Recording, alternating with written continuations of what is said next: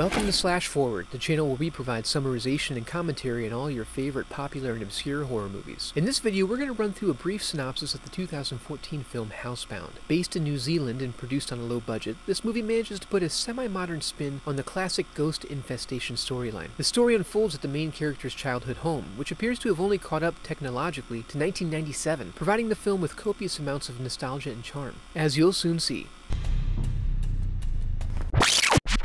Peace.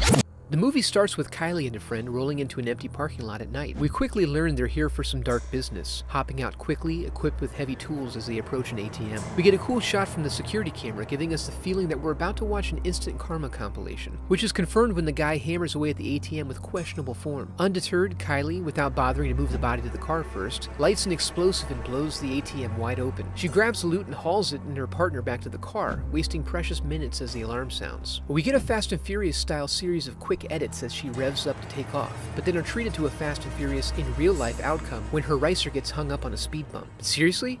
You should see how it sticks to the road in a hairpin. As the following scenes unfold, we hear about substance abuse issues and discover she's been through several treatment programs already. They still consider her a candidate for rehabilitation, but feel she would have a better chance of success in a stable environment, so they sentence her to 8 months of house arrest. Now housebound, she's brought to the estate by her overseer, Amos. As she prepares herself for what's to come, they get rear-ended by her absent-minded mother. I think that there's more damage to mine, though, than there is to yours. She learns the rules of the anklet, they test the range, and then she finds herself at an awkward family reunion. Is that one of those iPhones? No, Flash, isn't it? not really. See that, Graham? Kylie's got one of those iPhones. It's not an iPhone. We learn that Graham isn't much of a conversationalist. I was just saying to Kylie Graham, the wee Mary girl who gave Kylie a ride home, she's very nice. But Miriam is desperate to speak. If no one engages, she fills the void with mindless chatter. Brief establishing shots show a staring contest with the creepy neighbor, and that Kylie's prepaid phone has run out of minutes. That evening, Miriam, still talking, calls into a radio show discussing paranormal activity and tells the host about disturbances she's experienced. Like every hair on my body was standing upright, and I turned around and I saw this thing disappear back into the darkness. Kylie overhears her mom's creepypasta account of a basement encounter. When Kylie mocks her for this, Miriam points out that Kylie used to complain of experiences as well. She just doesn't remember them in the same way. Before bed, Kylie demonstrates the overwhelming power that Kegels can grant to one's pelvic floor as she stops and starts urinating in an attempt to better make out an odd noise she hears.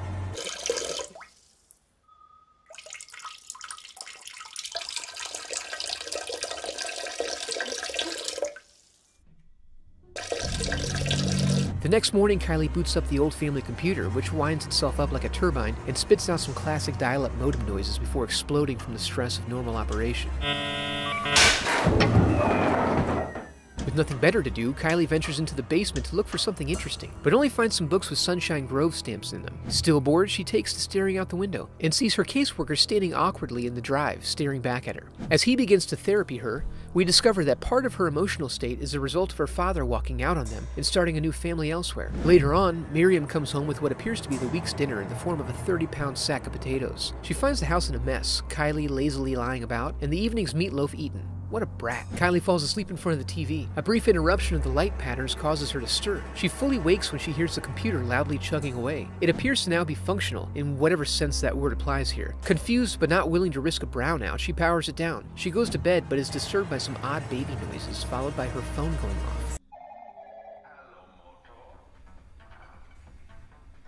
She goes off in pursuit of the noise and finds herself in the basement. In an unfortunate series of events, the lights go out. She's attacked by Jesus, her anklet goes off, and a hand grabs her. She brings her mom downstairs, but she's not having it. Then they both hear a noise. They go to investigate, finding evidence that someone's in the house. Kylie gets a jump on the intruder, beating him about the head and neck with a family heirloom. She's about to go for the kill shot, but is robbed of this forbidden pleasure when we discover that it's Amos coming to check on the ankle signal. We find out that he lives in the neighborhood, allowing quick responses such as this. Apparently promoted to detective, Amos begins to examine the house for evidence of the intruder. The ladies eventually come clean, confirming that they actually believe they were victims of a supernatural disturbance. Luckily, Amos is both a detective and an aficionado of the paranormal. He whips out his recorder, gives Kylie the finger, and asks several questions of the vengeful spirit. They don't initially hear anything, but Amos plays it back. The scene unfolds with tense expectation.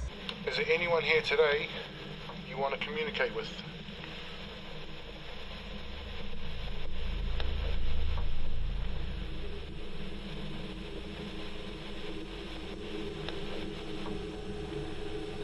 You honestly think somebody's gonna. Uh... but leads nowhere. Don't worry. I'll uh, run it through a filter when I get home. Yeah, of course. With the readers, loggers, and transmogrifiers all in place, Amos shares his strategy for verifying and managing the ghost problem, while Kylie shares hers. I'm gonna smash it in the face. That night, Kylie's distracted by the sound of odd voices in her room. She rolls over to find a possessed New Zealand version of Teddy Ruxpin talking that devil's talk and seemingly taunting Kylie.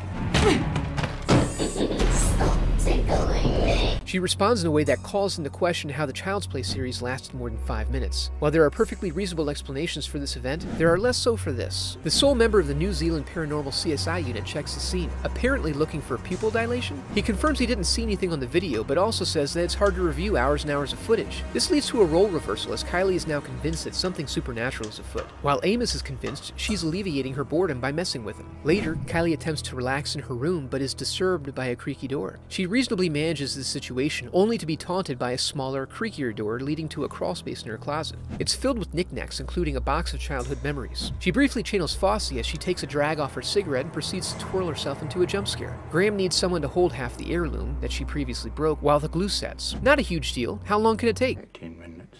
Ah, balls! Graham takes this opportunity to open up to Kylie. As the discomfort mounts, Kylie tries to change the subject. The end result of Graham's unsuccessful negotiation of this conversation has him accidentally revealing that the house was not previously a bed and breakfast, as Miriam had claimed. In response to this, Kylie does a more thorough review of the contents of the basement, most of which was left behind by the prior owner, and discovers that Sunshine Grove was a halfway house for troubled youths, one of whom had been brutally murdered in the home. She confronts Miriam about raising her in a house where someone was murdered in her room, but Miriam responds with indignation. When you start working and you have to pay bills of your own, we'll see how quick you are to snub your nose at a bargain. As Kylie continues her research, she discovers the girl in question was beaten, stabbed repeatedly, and bitten. Feeling it's safe to assume that this is a spirit occupying the house, Amos turns this into a Scooby Doo adventure And now we know. A murdered girl who needs our help. With murder. Kylie, however, is not convinced. She attempts to find a way out of the house. Unfortunately, the odds of a transfer are minimal, unless, of course, she poses an immediate danger to herself or others. She demonstrates her inherent danger by smacking her snack tray and mangling the wire drying rack. No one buys it, though, so she storms off. As the discussion continues without her, the lights go out. Miriam goes off into the darkness to test the breakers. As she works on it, we get a quick flash of a disturbing ghost standing behind Dennis. Creepy for sure, but fairly standard in terms of ghosts. Uh, okay, that helps. The police come, and we surmise they suspect Kylie. They try to sort out the details. Mr. McRandall was attacked by a vengeful ghost. Yes. Righto. But they don't get far. Kylie's had it. She takes off, no regard for the authority of the magistrate. Amos rolls up and appeals to her sense of empathy. By reminding her the ghost is just a girl who needs help, and convinces her to try connecting with the spirit and just listening. Now, more centered and connected with her third eye, Kylie returns to the basement to see what the spirit world has to confide.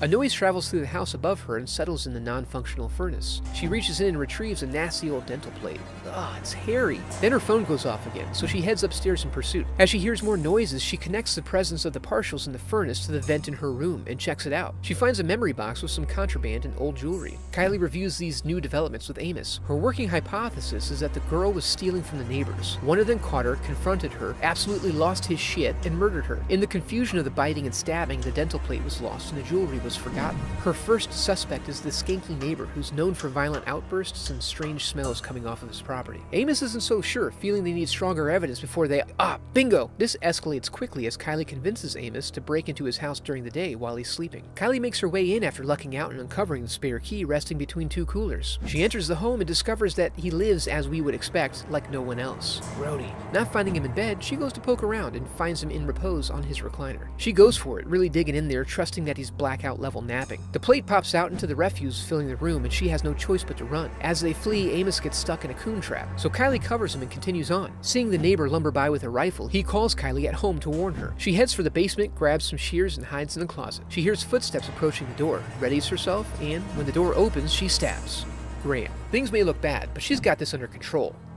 Or not. Miriam keeps a vigil at the hospital, so Kylie pulls herself together and cleans up at home. Amos, however, is still intent on collecting evidence and goes back for the plate. While taking pictures of old newspapers reporting on the murder, we see he has a surprise visitor. Amos is confronted as he leaves, and we find out Cragland is actually a pretty chill guy. He's feeling talkative, so he lets Amos know who he favors as a murder suspect. He explains that he once took in a young lady and her son to live with him for a while. The child was unusual, didn't talk, kept to himself, liked to make things out of other things, and preferred tight spaces. When Cragland had to discipline him for taking apart and reassembling an an animal, he ran off. This was about a year before the murder, which is a long time, but he doesn't think it likely that Eugene went very far, and emphasizes this point for Amos by showing him his old room. Cozy! Amos calls Kylie to discuss this new info, but she's busy putting away the vacuum. In the process, she manages to knock out the back of the closet, revealing a passage to the interior of the house. While thinking of his next steps, Timmy Rookspan comes back to life and gives Amos instructions on how to record on his tape. The light bulb goes off, and Amos hears young Kylie playing with an imaginary friend. No, if you tell me your name.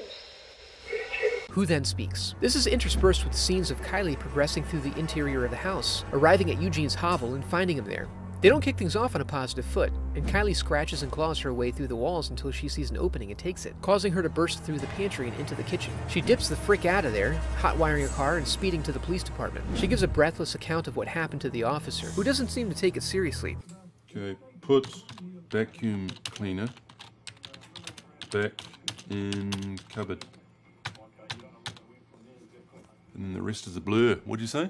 Hey, respect the badge. He two finger pecks his way through the report as Amos, utilizing the tracker, races to meet her. He charges into the station to corroborate her story. Meanwhile, Miriam shows up at the house. She finds the mess, but the holes have been covered over. She picks up the rest, so when the police finally show up, everything appears to be in order. Kylie does her best to show them. When she can't, she tries to convince them.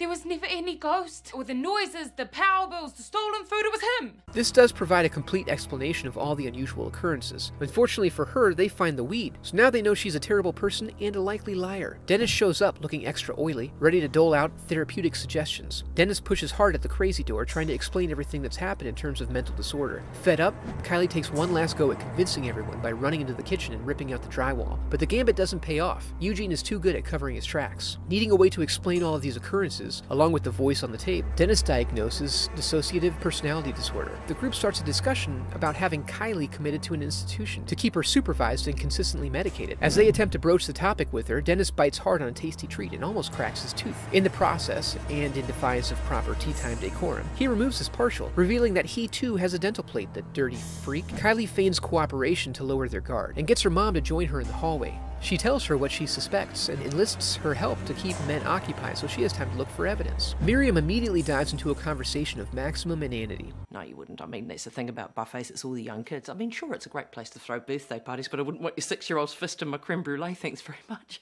As she does this, Kylie finds an early incident report for Sunshine Grove that shows Dennis was there as a student. He was pummeled on his first day by a 15 year old girl. Downstairs, Miriam pushes Dennis to the limits of his facade. Miriam! Miriam, charged with the task of keeping them both in the living room, ends up downstairs with Kylie. She contends that she had to let Dennis leave to use the bathroom. When they return, the officer is gone and the bathroom is empty. The ladies go upstairs where they find Dennis leaving the bathroom, sweaty and flushed. He claims he was upstairs to be discreet, while they try to play it cool. Both sides of the conversation sense the other is lying. Fed up, Kylie hits him with the facts. First day on the job, you get the shit kicked out of you by a 15 year old girl, that kind of been fun. They have a brief scuffle involving cheese graters and laundry baskets, and the ladies end up in the bathroom with the dead officer. They do their best to commandeer a weapon or send a signal, but end up getting out of there thanks to Eugene, but not completely unscathed. They get to a safe place, and then Amos shows up. Dennis claims that Eugene is the killer to elicit his help, but then knocks him out at the first opportunity. As Dennis tries to find his way into the walls, the rest of them find themselves in Eugene's lair. Kylie's phone has been eugenized, so now it just turns on the microwave. They look through some artwork that shows Eugene has been part of the family the whole time, having been present for all of their major life milestones. In a bid to help, he shows them his prime hiding spot, but it doesn't work. Dennis busts through the wall like the Kool-Aid man, but is immediately chamber potted.